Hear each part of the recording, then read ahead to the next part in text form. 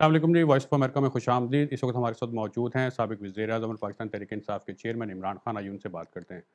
पाकिस्तान में जो है अब इंतबात के लिए मुसलसल मुतालबा है। आपका और कोशिश भी करें जब भी इंतबात होते हैं तो आपका असल मुकाबला नून लीग के साथ होगा या इस्टेबलिशमेंट के साथ होगा?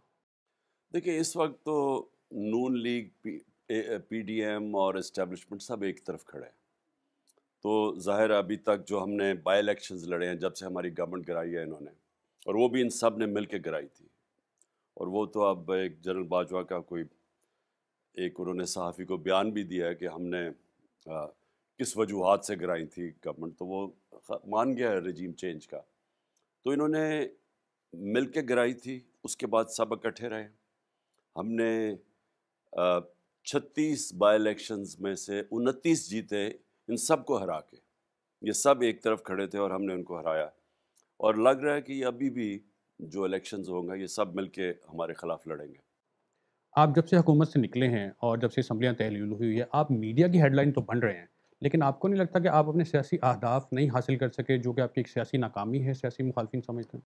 देखिए इस वक्त तो हमारी एक ही कोशिश थी साफ़ और शफाफ इलेक्शन साफ़ इलेक्शन तो हो नहीं सकते और शफाफ इलेक्शन हो नहीं सकते यहाँ लेकिन इलेक्शंस हो सकते हैं। क्योंकि इलेक्शन कमीशन भी इनके साथ ही खड़ी हुई है इस्टेब्लिशमेंट इनके साथ है पार्टीज़ इनके साथ है। अब इन्होंने केयर टेकर गवर्नमेंट्स पंजाब और के पी में जो बनाई हैं, वो यानी इतनी जानबदार गवर्नमेंट्स केयर टेकर पाकिस्तान की तारीख में नहीं बनी।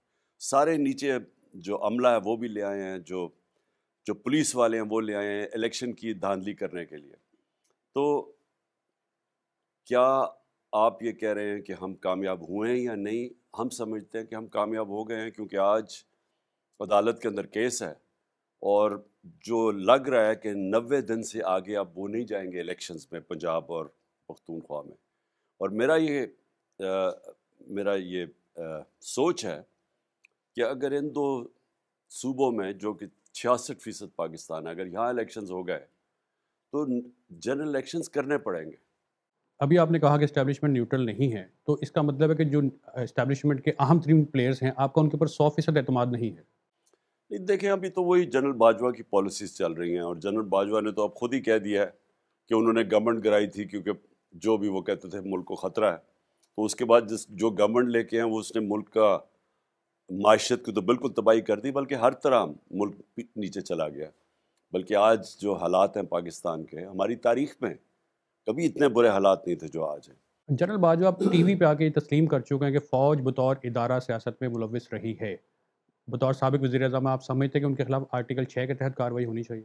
देखिए, इनके ऊपर बिल्कुल अब बल्कि फ़ौज के अंदर बैठ के इनके ऊपर इंक्वायरी होनी चाहिए कि इनके अपने बयान जो इन्होंने दिए हैं और बड़े फ़ख्र से और बड़े एक तकबर से कि मैंने फ़ैसला किया कि मुल्क के ये हालात थे, जिस तरह के वो कोई माशत के एक्सपर्ट्स हैं। तो इसके ऊपर अंदर सोचना चाहिए कि देखिए, इससे हुआ क्या? अवाम और इस्टेब्लिशमेंट फैसले बढ़ गए हैं। जो सारी कौम समझती थी कि इन्होंने जनरल बाजवा की वजह से ये गवर्नमेंट गिरी है वो अब उन्होंने खुद ही तस्लीम कर लिया तो अब तो उन्होंने पर्दा ही हटा दिया उस चीज़ से जो कि पहले लोगों के जो लोगों का एक शक था बल्कि शक भी नहीं लोगों को वाजे हो गया था कि आर्मी चीफ ने गवर्नमेंट कराई है। मौजूदा जो मुल्क में दहशत गर्दी बढ़ रही है आपके सियासी मुखालफी ये तासर देने की कोशिश करते हैं कि इसके पीछे आप हैं क्योंकि आपके दौरे हुकूमत में कुछ ऐसे लोगों को छोड़ा गया जो अब दहशत गर्दी की वजह है। दुरुस्त है ये तासर देखिए, ये बिल्कुल इतनी बेबुनियाद चीज़ें कही जा रही हैं। मैंने पिछली, यानी 2021 की गर्मियों से मैं जनरल बाजवा को वार्न करता गया कि अफ़गानिस्तान का जो जो भी अब अमेरिकन जब जाएँगे तो पाकिस्तान पे फॉल आउट आएगा उसका और हमें तैयारी करनी चाहिए। बल्कि मैं समझता हूँ कि हम बच गए, इससे भी ज़्यादा इंतहा की दहशत होनी थी। अगर वो वहाँ सिविल वॉर हो जाती अफ़गानिस्तान में और अफ़गान आर्मी अगर ना सरेंडर करती और सिविल वॉर हो जाती तो उसके और ज़्यादा असरात आने थे पाकिस्तान में। तो मैं तो तब से तैयारी करवा रहा था और मैंने उनका काम था सिक्योरिटी, जनरल बाजवा का, उनको मैं कहता भी गया मैंने अपनी सारी कैबिनेट को बताया कि हमारे लिए बड़ा मुश्किल टाइम है और हमें तैयारी करनी चाहिए। तो हम बिल्कुल, यानी इसके ऊपर मीटिंग्स भी हमने की हमारी सोच ये थी कि जब ये आएँगे टीटीपी पाकिस्तान, क्योंकि जब तालिबान ने टेक ओवर किया तो उन्होंने पाकिस्तान आना था। तीस चालीस हज़ार लोगों ने इनकी फैमिलीज़ मिला के। तो तब से हमारा ये सोच थी कि अगर हमने इनकी रीसेटलमेंट और वहाँ के मुकामी लोगों के साथ मिल के इनके साथ बैठ के ना की, इसके बुरे असरात आएँगे। हमारी गवर्नमेंट चली गई। इन्होंने कोई तवज्जो नहीं दी।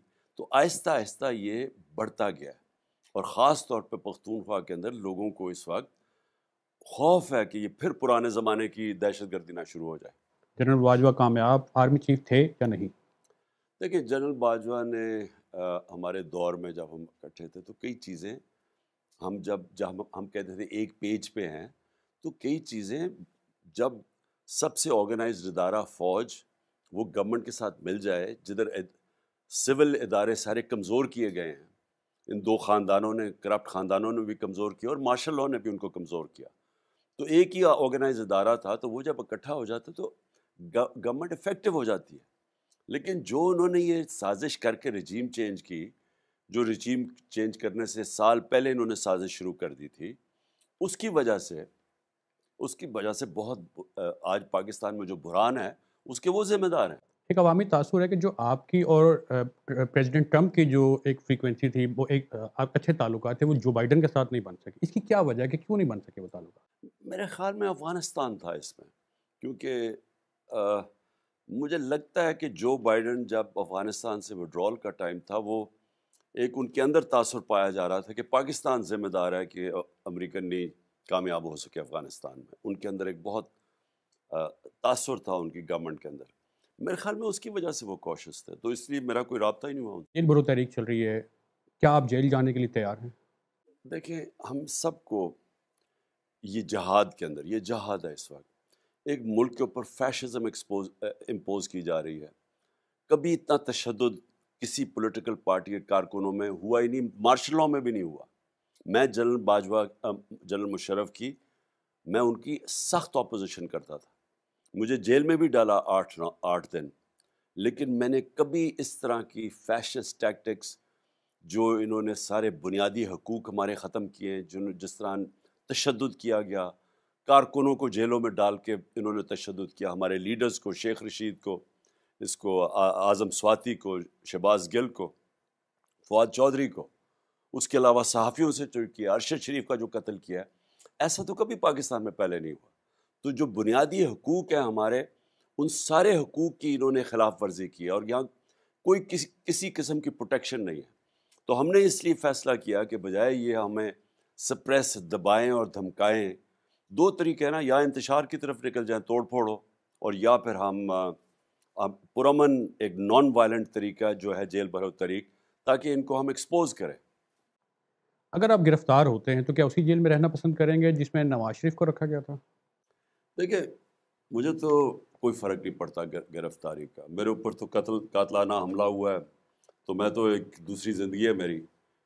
आ, तो जेल में जाने से मुझे तो कोई खौफ नहीं है और ख़ास तौर पे आज के माहौल के अंदर मैं कई दफ़ा सोचता हूँ कि जेल में तो मैं तो चला जाऊँगा क्या ये उसका फॉल आउट गिवन के पाकिस्तान की माशत के क्या हालात हैं क्या ये बर्दाश्त कर लेंगे इस वक्त? और मुझे लग ऐसे रहा है कि इनको सिर्फ़ और सिर्फ़ डर लगा हुआ है कि किसी ना किसी तरह इमरान खान को इलेक्शन ना लड़ने दिया जाए, चाहे जेल में डालो, चाहे डिसक्वालीफाई करो, क्योंकि सब मिल के भी खौफ ज़दा हैं कि जब भी इलेक्शन होंगे सब हार जाएँगे। वॉइस ऑफ़ अमेरिका को टाइम देने का बहुत शुक्रिया।